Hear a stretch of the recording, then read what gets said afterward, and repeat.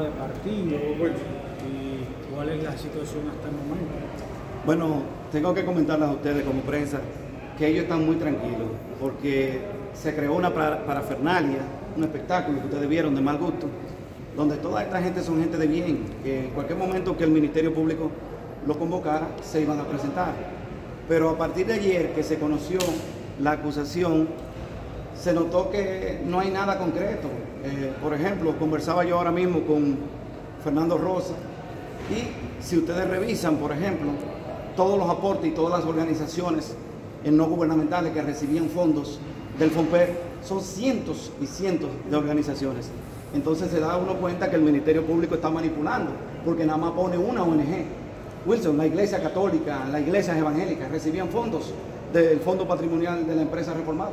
Y mañana vamos a entregar un documento donde se va a ver la lista completa de todas esas organizaciones. Por lo tanto, uno se da cuenta que no hay algo concreto en ese expediente.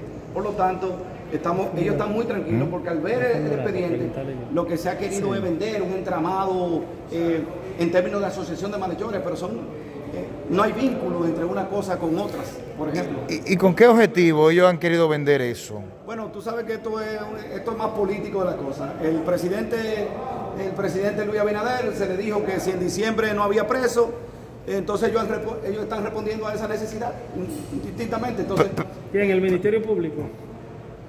El Ministerio Público siempre ha sido un instrumento de, la clase política y todos lo saben. O sea, ¿usted, cree que entonces el, presidente eh, Luis Abinader está ejerciendo presión al Ministerio Público para que eso sea... Yo no te he dicho que Luis Abinader, tú eres testigo de que mucha gente quiere ver presos y algunas organizaciones no gubernamentales dijeron que querían ver presos. En ese sentido, se le ha respondido, si en diciembre no hay presos, entonces, pero ahora lo que uno quiere todo, todo ciudadano está obligado a rendir cuentas, y más cuando usted ha estado manejando una institución pública. El asunto es aquí que se haga cumpliendo el debido proceso de ley, la tutela judicial efectiva. Si usted tiene un caso contra una persona, entonces usted lo cita por la debida eh, vía y entonces esa persona se presenta. Si esa persona no comparece, entonces usted vuelve y lo cita.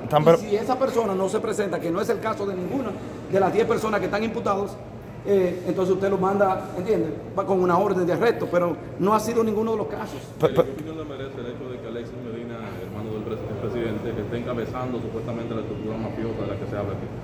Bueno, es que eso es parte del entramado político del proceso. Mm. Acuérdate que no es porque sea Alexis Medina, es sino por quién, a quién está vinculado. Entonces, esto es, esto es algo atenta. Si tú lees el expediente, como sé que muchos de ustedes lo leyeron, eh, que, se, que se ha preparado, que se ha corrido, menciona en 70 ocasiones el presidente Danilo Medina. Y tú dirías, acá, pero ¿y por qué Danilo Medina? Danilo Medina, Danilo Medina, él es presidente Danilo Medina, el Partido de la Liberación Dominicana.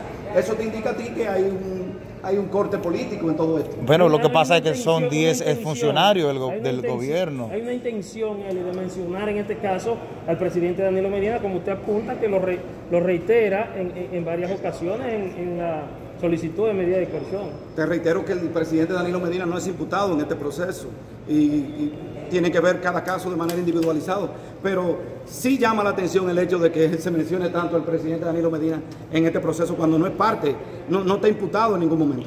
Gracias. Gracias.